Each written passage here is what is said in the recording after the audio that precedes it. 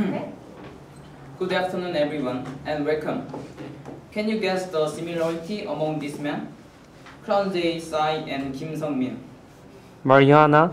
Yes, they used Mariana Mariana. and paid fine or went to jail. My name is Kim Jae-gu, and today I will tell you why marijuana should be made legal. First of all, I show that marijuana is not harmful as much as you think. Then I look at the problems that happen by illegalization of marijuana. Finally, I talk about various uses of marijuana. I'll make sure that we have enough time for questions at the end. To start with, marijuana is not a lethal drug and safer than common idea. The British organization Beckley Foundation analyzed the cause of deaths worldwide.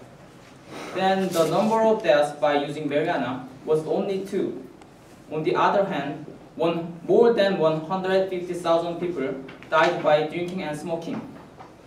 Now, please look in your handout.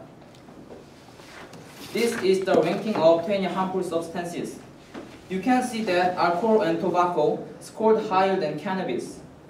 It doesn't make sense that alcohol and tobacco is legal and marijuana is illegal.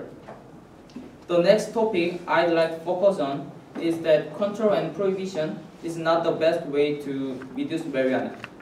In France, it took 3 billion euro for a year to control and arrest marijuana-related offenders, though the, consumption of marijuana have not reduced. Furthermore, the damage caused by criminal organizations which sell marijuana is considerable.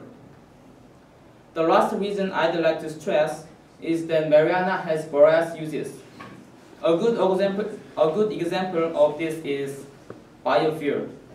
Hemp grows well even in the cold, harsh environment and needs small amount of fertilizer. Besides, the efficiency of conservation to biodiesel is almost 97%. How amazing. And these are hemp car. And marijuana also can be used as medical values. Marijuana has a good impact on angina, vomiting, glaucoma, and so on. Today, today marijuana is provided as this uses in California and Colorado.